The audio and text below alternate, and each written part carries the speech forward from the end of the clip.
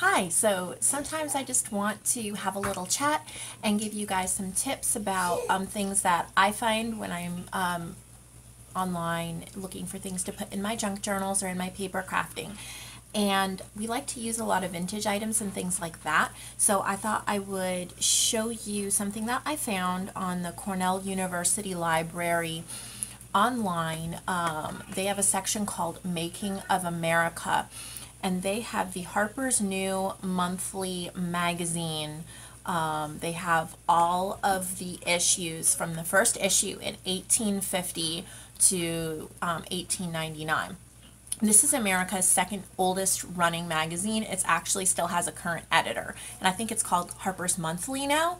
Um, but way back in 1850 when it started, um, I was extremely impressed looking through all of the articles and the illustrations. And um, so I printed this to show you.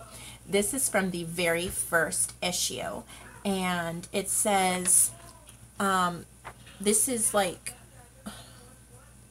Broad-brimmed straw hats are used for the promenade. Open work straw bonnets of different colors are adopted for the early summer wear, trimmed with branches of lilac or something as appropriate.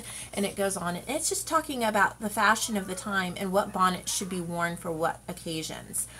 So I printed this page out to show you, you know, you can use this as a whole page in your journal, you know, fold it in half as a page, or you can um, cut out the beautiful ladies, the illustrations, and even use the text with it. And um, not all of the pages obviously have pictures, you kind of have to look through. Um, but what I also did is I printed this on um, patterned scrapbook paper and I really just liked the effect and the look that it gave. Um, it kind of gives a really cool backing and um, I'll show you, you can use of course whatever paper you want, but this is the one that I use. This is the Mint Julep Colorbok and um, the pages are really thin. They're not as thin as copy paper, but um, they're still really thin and they're white on one side. So I just chose this one with the orange roses and just printed it on there. So I thought that that would be a really good resource for all of you to look into. Um, I just thought it was really neat and I'm planning on using these in some of my journals and um, you know, sometimes it's great to just have a tip. I really appreciate it when I'm watching YouTube videos and some of the people that I admire like Nik the Booksmith, um, she was mentioning in one of her videos, um, Pixabay and being able to go onto that website and use any of the images they are commercial use and especially if you're trying to sell a journal to someone you have to be very careful about the copyright with things um, so that you don't get into trouble.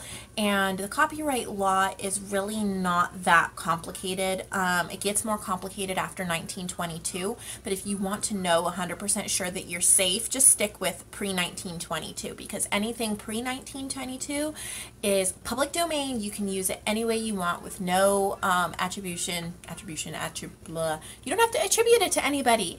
And um, so this is 1850 and all of the ones on here are to 1899. So I wrote this um, down here. You can see that Cornell University Library, The Making of America. And is this is all backwards, isn't it? Is it? Oh, well. Anyway, it's Cornell University Library. So I hope that gives you a wonderful tip for today. Um, let me know if you find any really cool images. I know I could spend days, hours, and years on that website, I am sure. And um, another thing I'm working on for you guys that will probably take me a few weeks at least. Um, who knows, maybe I'll get super inspired. But I found, I think it's a New, a New York Public Library online the New York Public Library online and they have a lot of scanned vintage images and things like that. And I've been collecting ones that have to do with school children and school and school uniforms from the late 1800s and the very early 1900s like 1908 1910 and I've just been collecting those and saving them. And I don't know I might either make a, a digital printable file for you guys so you can print them out you know kind of have them collected. They, it won't be all super decorated like some of you know Calico Collage, Tsunami Rose, some of their beautiful stuff. I'm I'm not to that caliber. Caliber. I can't talk. I was an English teacher. I should be ashamed of myself.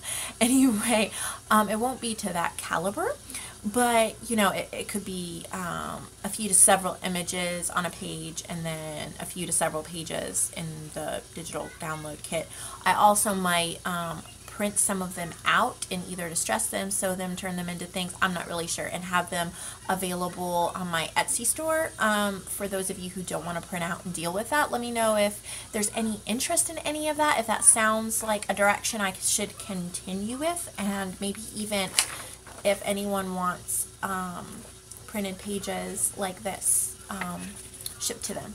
So let me know and um, let me know what you come up with and how you use these in your projects because y'all inspire me all the time. So have a wonderful day.